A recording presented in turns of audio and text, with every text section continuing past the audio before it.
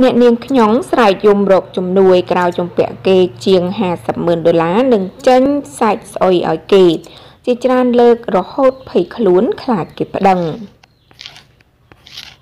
ចានៅព្រឹកថ្ងៃទី18ខែតុលាឆ្នាំ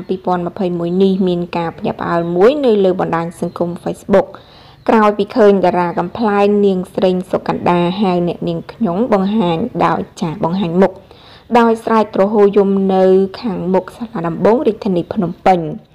ហើយបានប្រកាសខ្សែធនមិនមានលទ្ធភាពក្នុងការសងប្រាក់ត្រឡប់ទៅកាន់ម្ចាស់បំណុលវិញឡើយមានការលើកឡើងថាវាជារឿងដែលមិនគួរឲ្យជឿសម្រាប់មហាជនដែលបានឃើញតារាកំ pl ែងស្រីរូបនេះធ្វើការ live វីដេអូទាំងទឹកភ្នែកដោយទទួលស្គាល់ថានាងពិតជាបានជំពាក់ប្រាក់ម្ចាស់បំណុលជាច្រើនមែន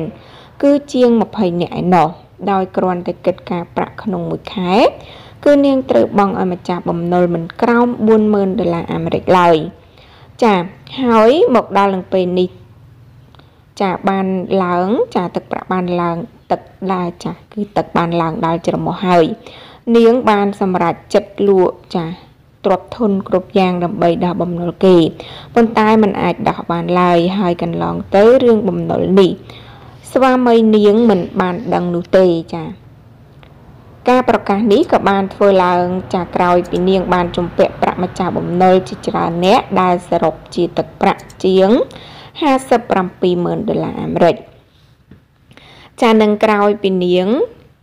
ធ្លាប់បានចេញសាច់ស្អុយអត់ទឹកប្រាក់ទៅឲ្យម្ចាស់បំណុលដែលអាចប្រឈមទៅនឹងការចាប់ខ្លួននោះ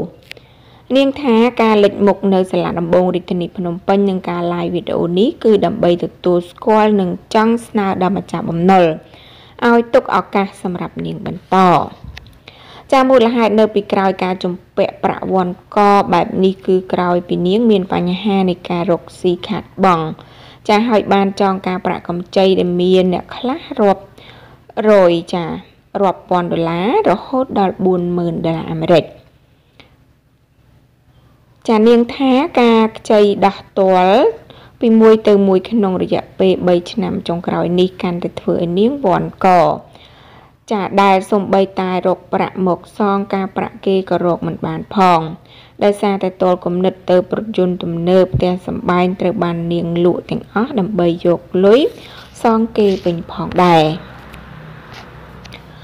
ចាពេលនេះនាងនៅមិនទាន់ដឹងនៅឡើយទេ ថាតើម្ចាស់បំណុលនឹងអាចទុកឱកាសសម្រាប់ឲ្យនាង មានពេលវេលារកប្រាក់ដើម្បីសងបំណុល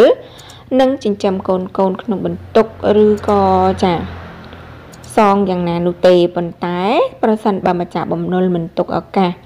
នឹងបានប្តឹងនាងទៅតុលាការគឺនាងសុកចិត្តទទួលទោសកំហុសហើយនាងស្នើឲ្យទស្សនិកជនមេត្តាជួយកូនកូននាងដែលនៅតូចដោយការបរិច្ចាគប្រាក់ ម្នាក់1ដុល្លារដើម្បីចិញ្ចឹមកូនកូននាងដែលនៅតូចចាគូបញ្ជាក់ដែរថាក្នុងរយៈពេលប្រមាណសប្តាហ៍ចុងក្រោយនេះមានការភ្ញាក់ផ្អើលខ្លាំងសម្រាប់មហាជន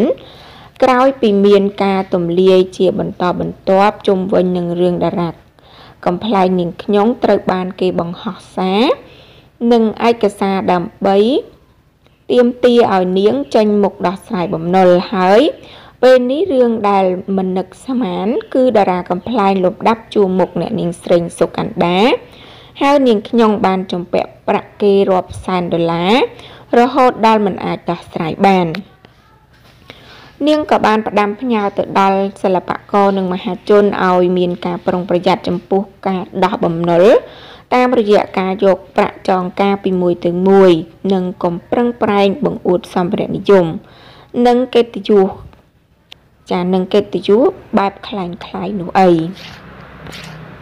ចាប្រិមិត្តពុកម៉ែបងប្អូនជាទីមេត្រីសម្រាប់អត្ថបទព័ត៌មានដែលនាងខ្ញុំបានជម្រាបជូនបងប្អូននៅពេលនេះចាក៏សូមបញ្ចប់តែត្រឹមប៉ុណ្ណឹង